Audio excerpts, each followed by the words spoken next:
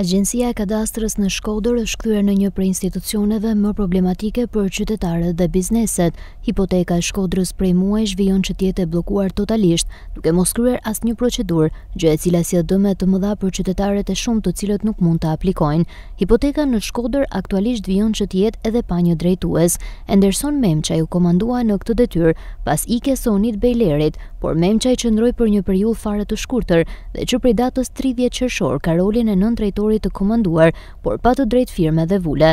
Në këtë mënyrë, një prej institucioneve më të rëndësishme në Shkodër siç është Hipoteka, nuk ka një drejtues duke krijuar kështu problematika të mëdha. Të gjitha proceset duke nisur nga më e thjeshta që është nxjerrja e një kartele për pronat, janë të bllokuara, duke vijuar edhe me të tjerat më të rëndësishmet. Aktualisht është e pamundur që të bëhet një aplikim online për leje legalizimi, pasi sistemi nuk e pranon një aplikim të tillë, duke lënë pezull qindra qytetarë. Nga ana tjetër, ky bllokim total i hipotekës së Shkodrës ka sjellë një dëm të madh për gjithë komunitetin e biznesit në Shkodër, pasi nuk mund të kryejnë procedurat e shitblerjes.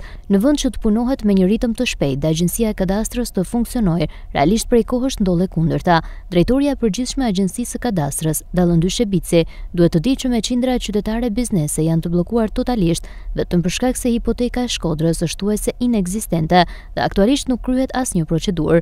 Po ashtu edhe numri i dosjeve të përpunuara për momentin është i papërfillshëm, duke lënë peng kështu qytetarët. Gjatë verës si kudo edhe në Shkodër vijnë emigrantë të cilët, për shkak të këtyre problemeve që ka hipoteka, nuk mund të kryejnë asnjë procedurë, duke sjellë edhe për ta një dëm të madh. Në Star Plus janë me dhjetëra ankesa të qytetarëve, ndërsa në ditët në vazhdim Star Plus mirëpret gjithë ata qytetarë, të cilët kanë probleme me hipotekën e Shkodrës, për shkak të këtij bllokimi total.